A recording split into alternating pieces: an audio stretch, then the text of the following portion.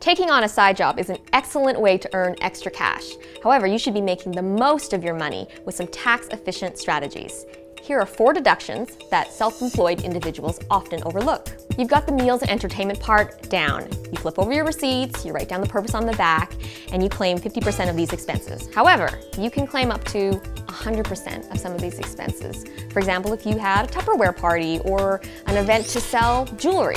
In that case, it's promotion, and you can write off 100%. Deduct the interest on money borrowed for business purposes. So if you use your credit card to buy supplies or business materials, make sure that you deduct the interest that you pay on your debt. Don't forget to deduct the depreciation in value of assets like camera equipment, computers, and whatnot. So for example, if you bought a computer in one year for a thousand bucks, the following year it depreciates by 55%, so you can claim $550. Make sure you keep a travel log for all of your business-related trips so that you can write off your vehicle expenses like gas, insurance, registration. In your travel log, make sure you write down date, destination, purpose of trip, and the kilometers that you drove.